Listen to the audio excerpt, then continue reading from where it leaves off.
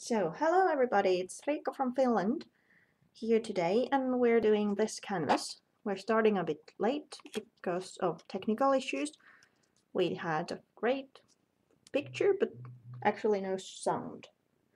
So, what we're doing today is this kind of dress. Let me show it to you. Dress canvas or reverse canvas actually.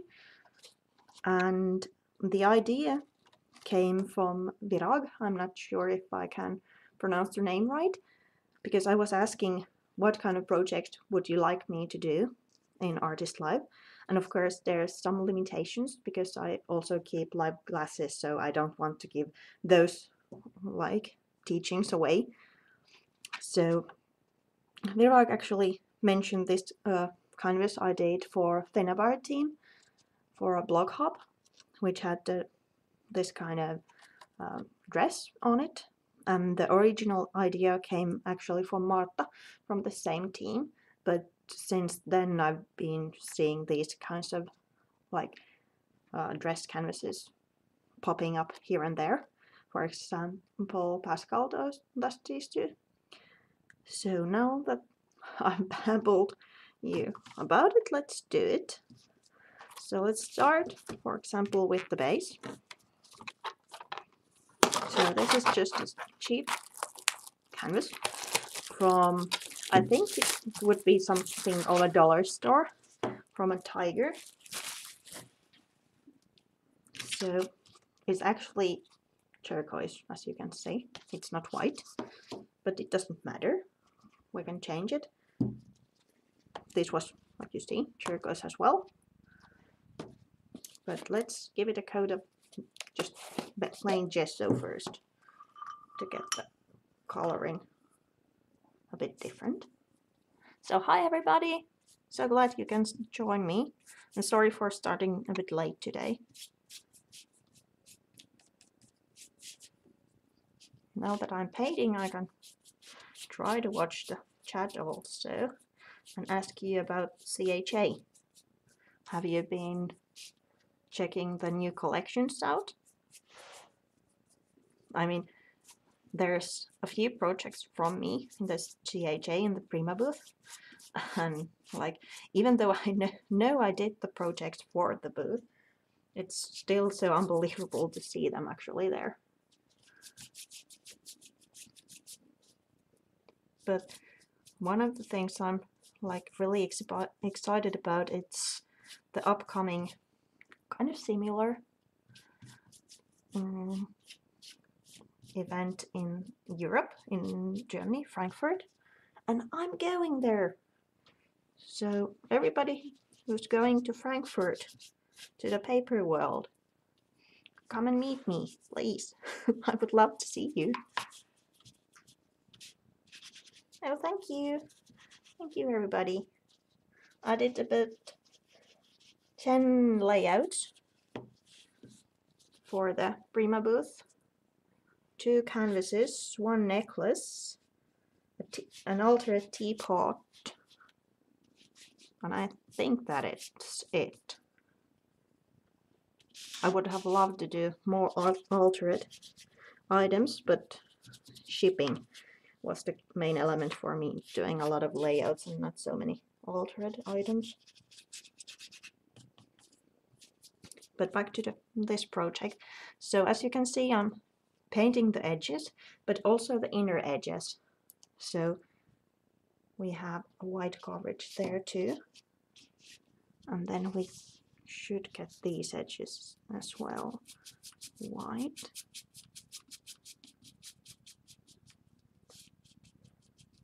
Of course, I could have done this before the show, because now it's just me painting.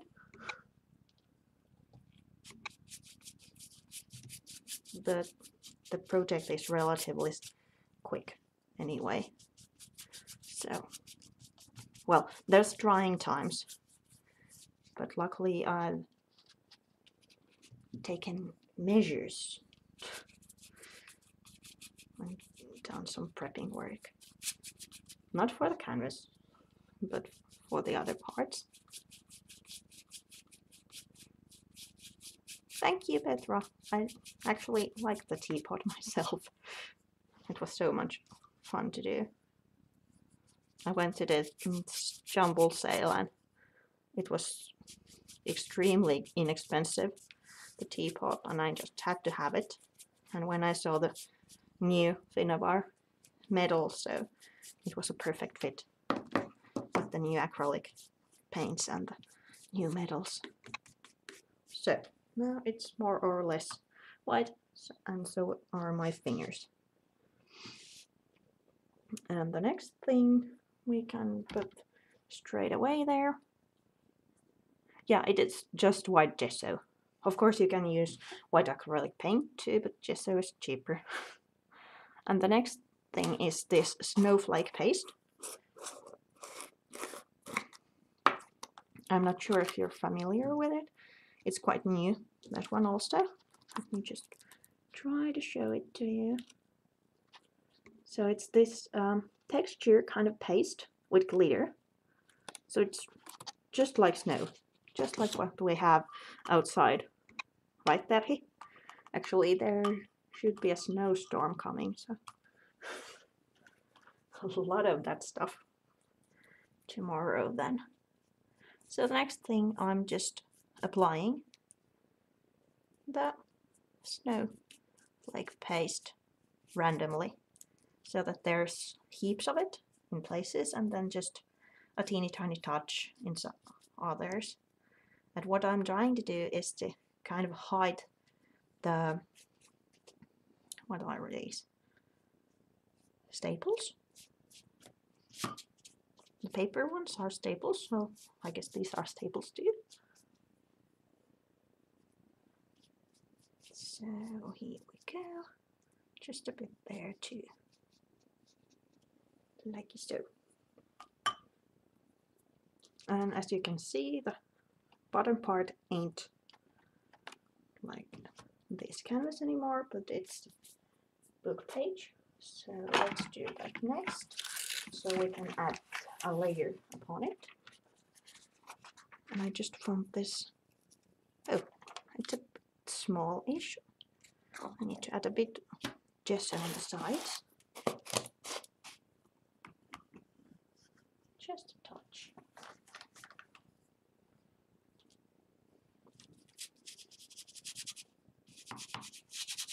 So the turquoise one won't play through.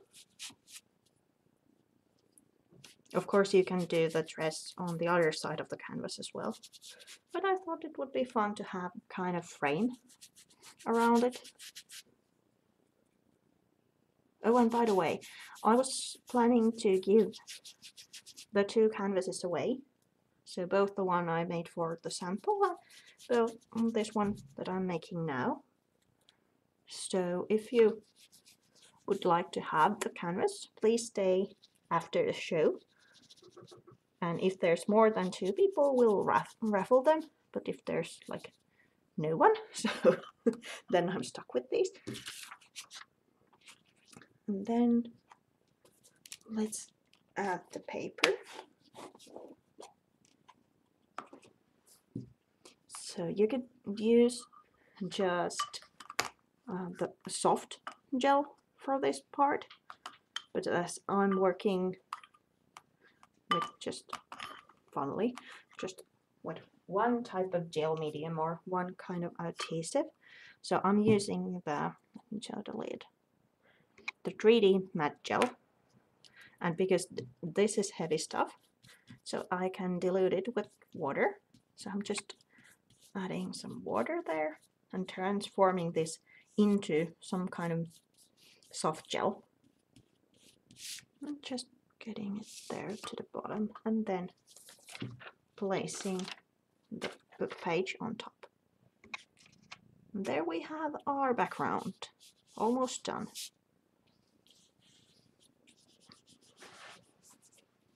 like so. And just one more thing.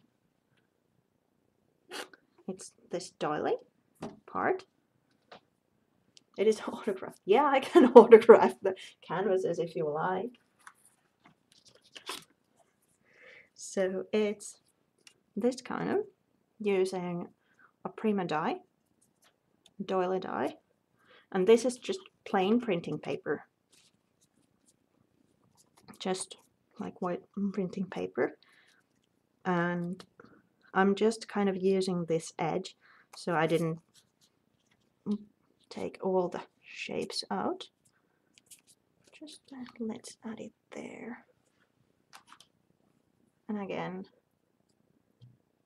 just taking some of the matte gel into the brush with water, painting it around, and then sticking this to the background as well. It gives sort of a halo look. And then I can go over if I want to. It's a bit warping, no. Well, the flowy dress comes on top, so it doesn't matter. Let me just close the lid for a while. Let's get close the gesso too. Hi everybody, thank you for joining. We're doing uh, dress canvas today. Let me just pick that one. And what I'm adding as the final layer for the like background is the clear crackle paste. Uh, well, it should could be a newspaper. This is an old book page, but honestly, you can use any kind of paper. For example, the new Prima papers with the roses, they would look wonderful if you're doing like a romantic style dress. Now I'm just adding the clear crackle paste with a brush. So if you're applying it with a palette knife and get, getting those lumpy areas or more, then it shows bigger crackles. But what I'm doing this kind of even just a teeny tiny layer. The crackles are a bit smaller. And as you can see, I'm trying to concentrate the bigger like heaps of the paste to the upper corners because in the end those are almost the only places that are visible after the dress is done. So now let me move this a bit further away, for example here, to dry. And let's start the dress. Oh, Janelle, that's horrible to hear that you got kicked out. That's not nice at all.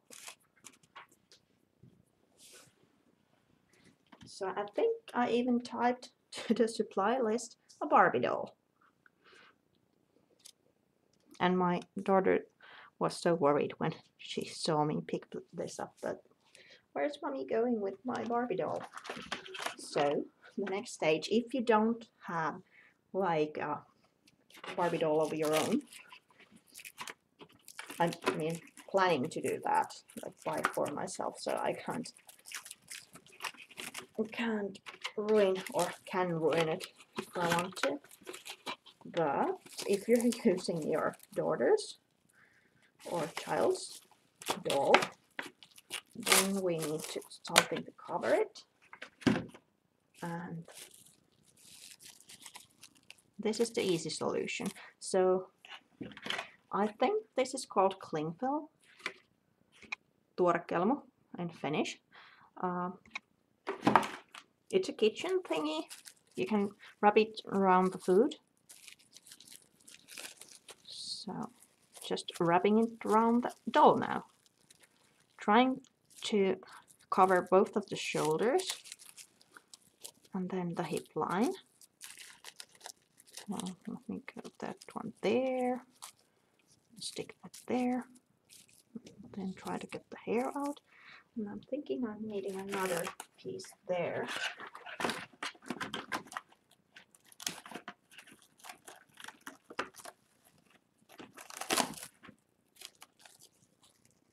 Like this.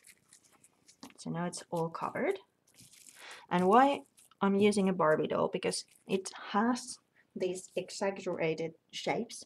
So if you're using any, kind of doll, it's good to have like visible curves or otherwise the end result will be also without curves. So the bigger the curve, the bigger the curve is in here, especially when you're using paper and not something that is easily wrapped around and the whole piece is quite small. So if you have something that is flatter, it might not look as dressy. I'm not sure if dressy is the right word, but dressy as this one. Um, what I'm using for to make the actual kind of fabric of the dress.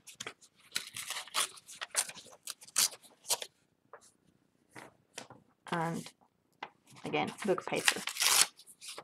I would recommend something a bit uh, softer than scrapbooking paper because that's quite like hard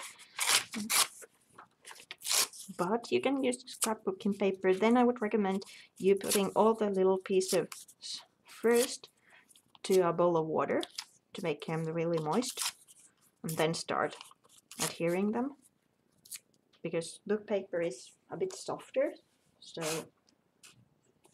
we can do that without. And you don't have to use gel medium for this. Regular glue will do or even what's the product called you put the papers into the walls wallpapers? Okay, my husband shakes his head, even he doesn't know what is liisteri in English. The thing you'd use to get the wallpaper up. So the idea is the same that doing pinatas or some kind of paper mache things is just to glue the paper. So first I'm again diluting, do, well, diluting, I'm guessing that's the word, the gel medium. And then let's add moisture to the piece of paper and just get it in there. The smaller the piece, the easier it is.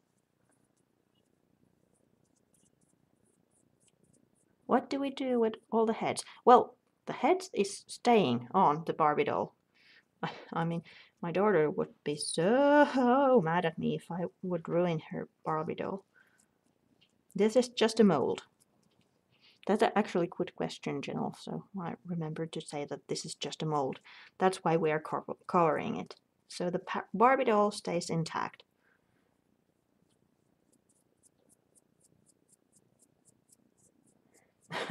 it's goo. Goo? What is goo?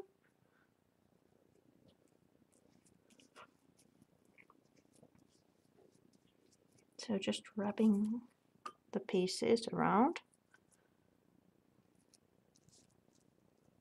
And of course it's easier, for example, to get the bust really showing if you are kind of going around with the pieces. Paper, because paper doesn't work like like fabric. And what you can do, you can design the neckline and the like arm lines, like arms. I'm not sure what it is. So like he right here, and it's easier that way if you like follow what you're doing. But if you decide to have like this kind of really open v-neck in the end, you can always cut it, but only after drying because now it's really soft and vulnerable. As you can see, it's trying to keep its kind of original shape and popping up. But as you are adding more or the adhesive, whatever it is, and then you actually need to get your hands dirty and really pu push it so you can get it to the right shape. But now this is starting to bit be like a cooking show because miraculously dee, dee, dee, we have that one already. So it's just getting the little pieces to the Barbie doll. Then getting the cling film out of the back and you can peel it off if you want to. If you have a thick layer that will probably hold very well. But on the other hand you can just tuck it in here like nobody will notice. And also if you're like doing like I'm doing a bigger piece here it's also something you can use to adhere the actual dress. Okay there's a stupid looking piece. You just get rid of that. Like this. So we have the dress part then we need the hem part yeah magic now I have some is this here. This is just white cardstock. So we need something to actually make the hem. There is a fabulous new product coming, but I'm not telling anything. But in, since it comes, then we need something to support the fabric because otherwise it will just stay flat. So we're using just, it can be anything, really.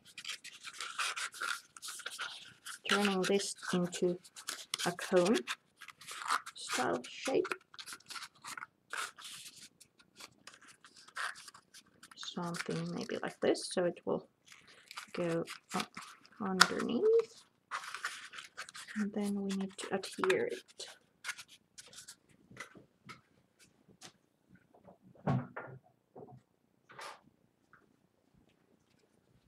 Hmm, no. Let me check if I can actually stable this one because it's kind of kind of tiny. Now I Holds one would be really handy. Okay, this won't work. I need some tape.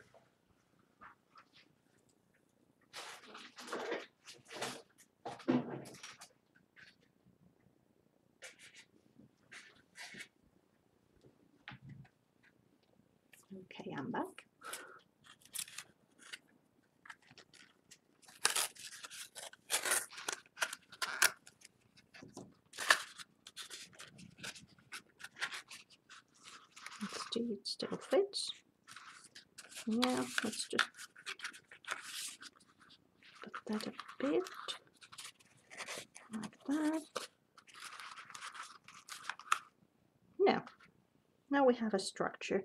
Then let's bring out the background.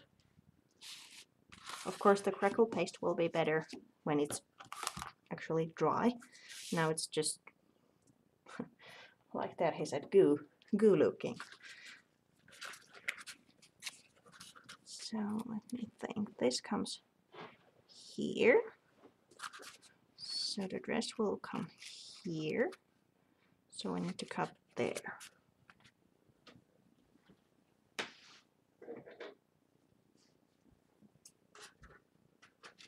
approximately there.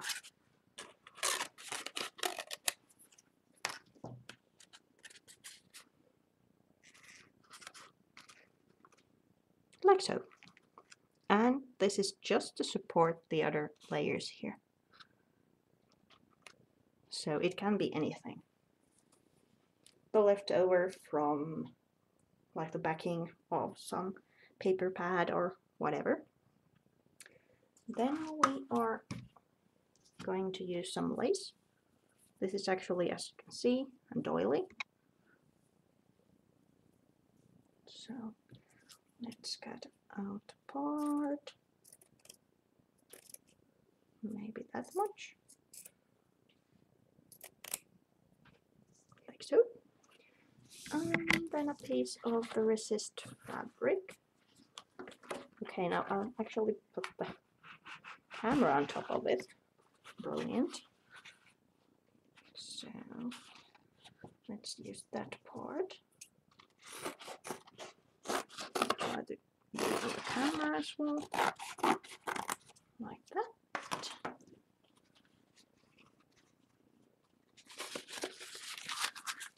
I'm just crunching it to get it a bit softer because it's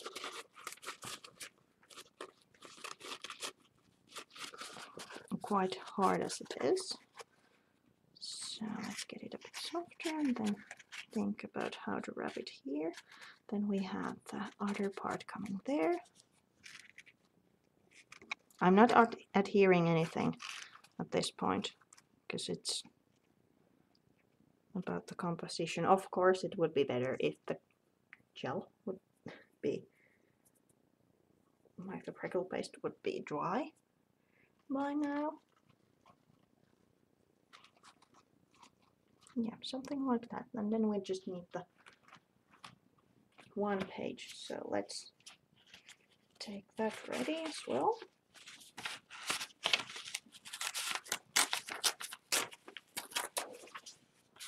There we go. So let's start adhering. First of all, let's add the lace.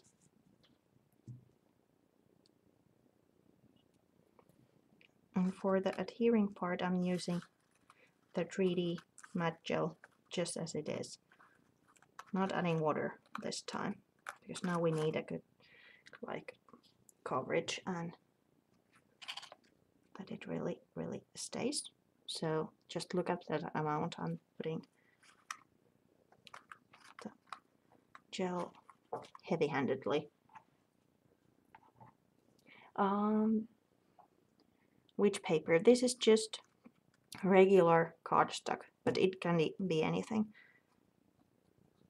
And now I'm adding that one over the top, trying not to get too many fingerprints on there because as you might know gel medium actually resists color so if I get gel medium all over the resist fabric there's going to be resist fingerprints on there as well so if you're talking about the white paper it's just cardstock just white cardstock and if you're referring to this one, it's resist fabric from Prima. Okay, now we have this and that. Now we need this, the flowy part. And we're using paper, so we need to do something to get it flowing, otherwise it's just as it is. So, in comes water.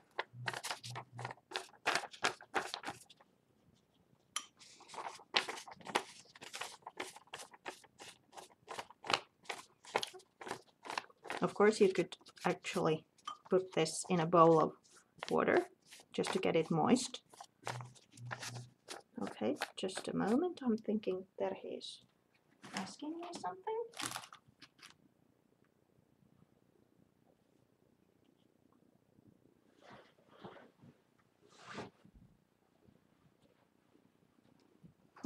okay. she was asking me about this and I because of the mm, del uh, like del delay. Now I actually talked about it. So it's a resist fabric, not a paper, but it's actually the pattern. Let me just show you this piece. The pattern is like an old newspaper. It's called something like ads. Now we have the paper quite moist and we can start gently doing little folds on it and turning it into this kind of wavy looking dress.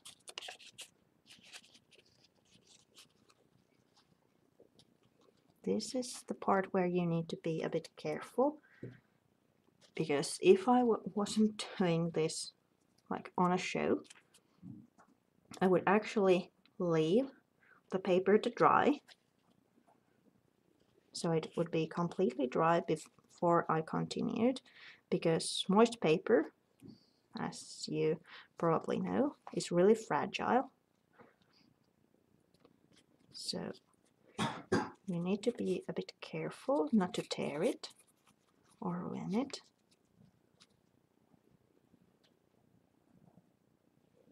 And what you could do if you would leave it like to dry for a while, it's just put it on top of something so it molds accordingly, a bit like the top. But even just moist paper without the adhesive would do that. Hmm. I'm just that it is getting dry, like dry already, and I want a bit more shape to it because now it's just too straight. Let me try to create a fold there, like this draping look.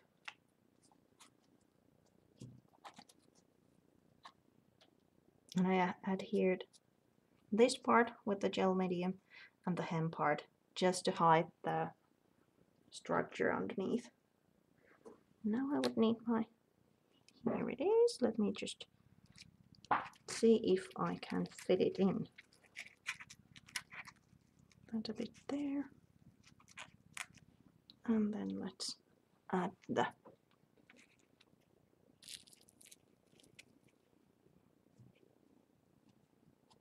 What's a great thing about gel medium or the 3D gel is that after it dries, it likes gives support also.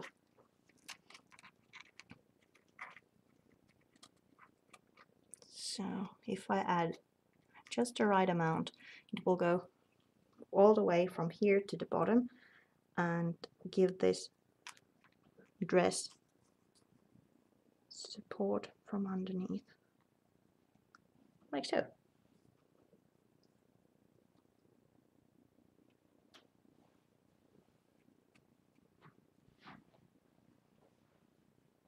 Yes, I'm thinking that's good. Then what we have left is the embellishing part. So in comes the flowers.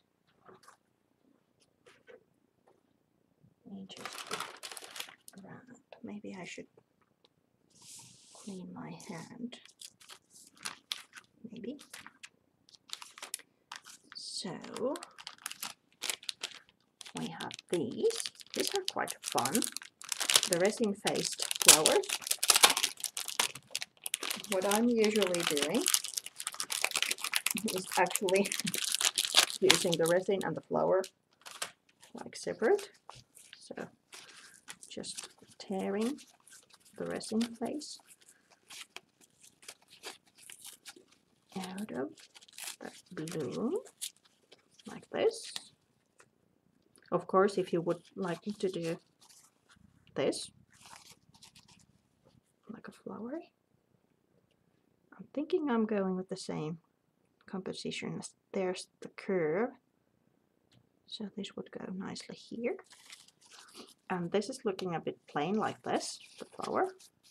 So then I'm just folding it in half getting this really luscious layered looking flower to tuck here because again the folded flower doesn't look so much but when you tuck it in someplace you're hiding it's just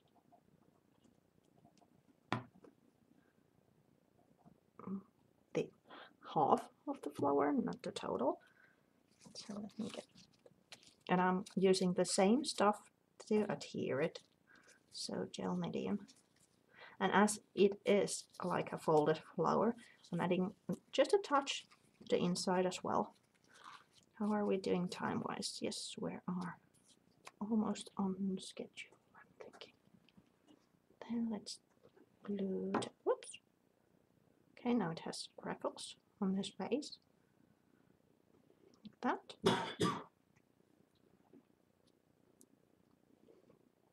I'm always, like you can see, sticking my hands to the paints, but if you don't want to get really colorful,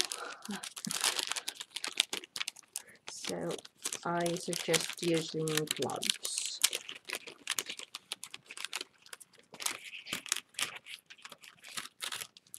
Then we have the stem and some leaves.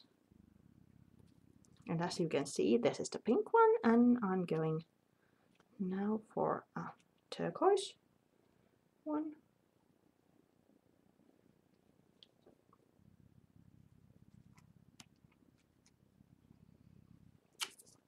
I'm just doing the same thing, aren't I? And it's a bit squished in the package. Oh, that looks kind of fun. Let's stick them there. Because there's a like a bigger amount of the crackle paste so it will hold those light styrofoam balls. Hmm, let me just think. How do I put this? No, the other way around, but not as much, I'm thinking. Whoops, now there's snowflake paste on my hand. Yeah. If I was doing this at home, well, well, in my own time, probably it would be the same because I'm really impatient and to do everything like right now. But then I could switch to another project and let everything dry before continuing. So let's add that one there, a bit layering.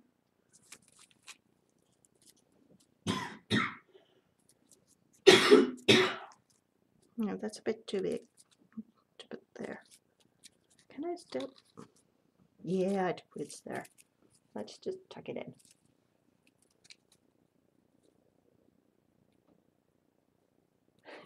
yeah, the turquoise one matches my tablecloth. Yeah, this is actually a piece of, oh god, I don't, don't know the word, like plastic cover, covered fabric, so it's easy to wipe, clean. Shall I add a few of the smaller roses too? Yeah, of course I have table colors of every color. So if I'm doing like a pink project, then I wear the pink tablecloth. I'll put that on and yeah. oh, you know my tablecloth. Hmm, I need to change that one. Ooh. Let's add one there. I actually used to have a white one, which was really good because that didn't like bother with any colors. but unfortunately I left that in Norway. I was teaching my first workshop out of Finland and that was really exciting and only like after a week when I got home I noticed that hmm I think I left the tablecloth there. But then I got this instead.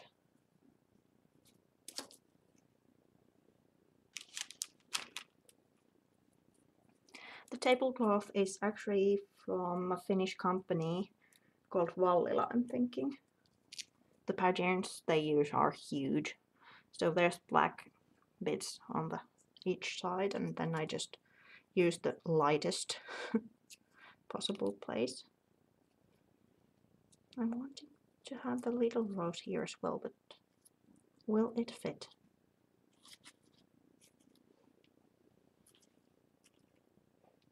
Nope.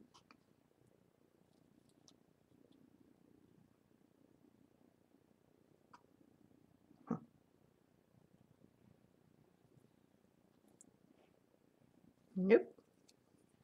Okay, now I'm getting annoyed with myself.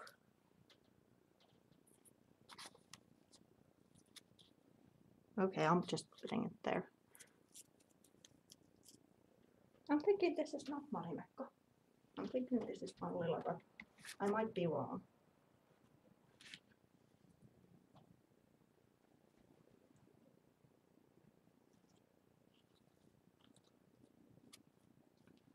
Like so. Okay, now I'm done.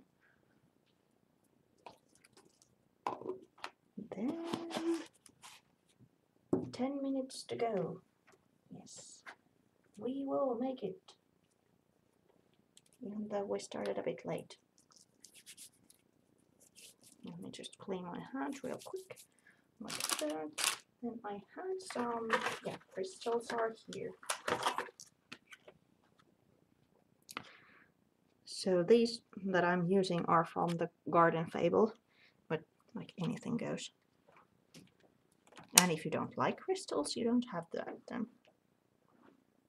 But a bit of bling is always nice. And again, color coordinating, so I'm using the teal and turquoise ones from from the set in this piece. Just a tinier one. There. Almost done. Move those away. So as you can see from the ready sample, there's a bit of color, like just small touches. And I have these, so the mica powders, mica. And Finnish we would say mica, but so yeah, the crystals are fabulous.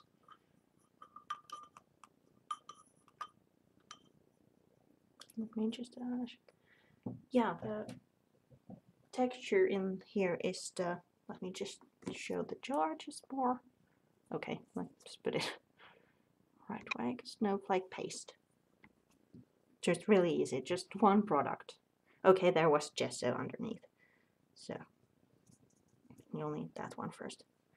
But if you have white canvas, then just one. So what I'm doing now is just adding a bit water to the mica and then going gently with a brush. You could also use a water brush or watercolors. Adding color here would be easier after the paste was dry. Dried, okay, let's do it the hard way.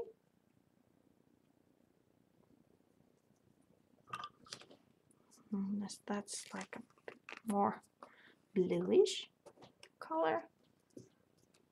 And then let's mix this one in. And as you can see, I'm just going in with my wet brush because if your brush is wet, the powder will stick it and it won't ruin the powder inside the jar.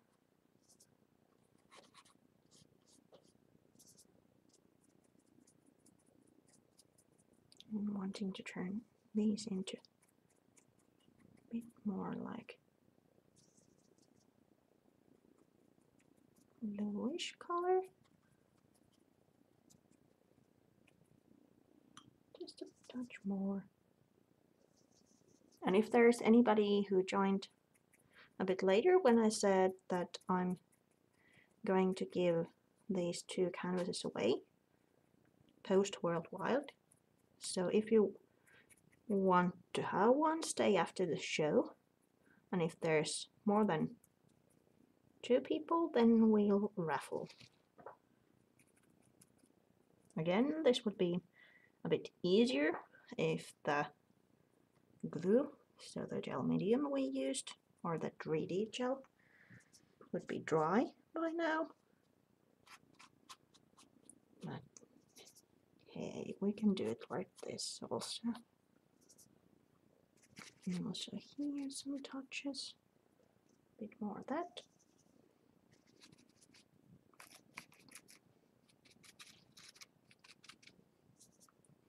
And the color will eventually go a bit lighter because now when I'm adding the mica color it also like gets the paper wet and so it seems a bit darker than it's going to be.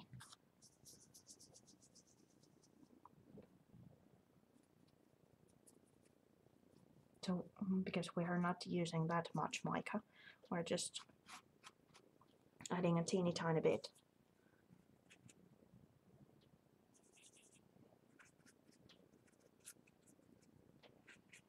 And for the absorbing style, for example this paper and the resist fabric, it's fine just like this. But as the main bodice part is done with gel medium, so it's a kind of resist, so you might want to add a fixative on top. Not that I'm thinking many of us will actually rub the ready canvases, but still. Just something to adhere the mica because the Finnabair mica doesn't include any other particles than just the mica. The shiny, shiny parts, shiny mineral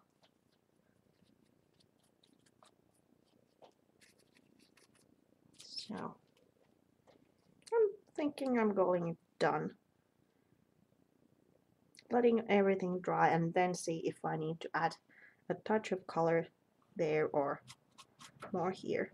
But it's easier to do when these, well, when it's drying actually. Yeah, mica powders can be used with water.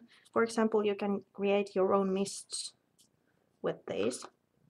Again, if you're using them on just paper, plain paper, no gesso underneath, or for example fabric, they will absorb into and stick better. But as they don't have, for example, Perfect Pearls has the binder in them. So if you're adding them to the water, then you're creating this kind of mixture and that will stick. But these powders don't have binder on them. So anything you do, you need to find a way to steal the top or then be ready so it won't be as vibrant the like 50 years from now. But it's mostly like mechanical rubbing or or just touching which will create the loosen the powder.